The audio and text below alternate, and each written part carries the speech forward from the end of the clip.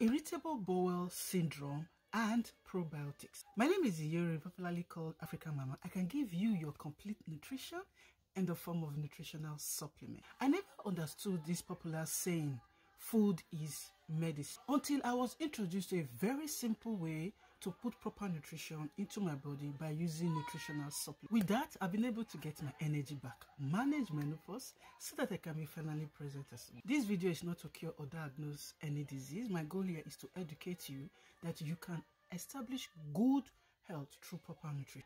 Irritable bowel syndrome is a chronic gut-brain disorder that can cause a variety of uncomfortable gastrointestinal symptoms, including abdominal pain and diarrhea, constipation, or a mix of the two. IBS can reduce quality of life. Although the precise cause of IBS remains unknown, recent research suggests that an imbalance in intestinal microbiota and a dysfunctional intestinal barrier may be involved in the development of IBS. Because of this, methods to restore the microbiota has been explored as treatment for this condition. Many digestive processes rely on a balance of bacteria which are found naturally in the gastrointestinal tract. If these bacteria fall out of balance, gastrointestinal disorders may occur, possibly including IBS. Probiotics, which are bacteria or yeast that are associated with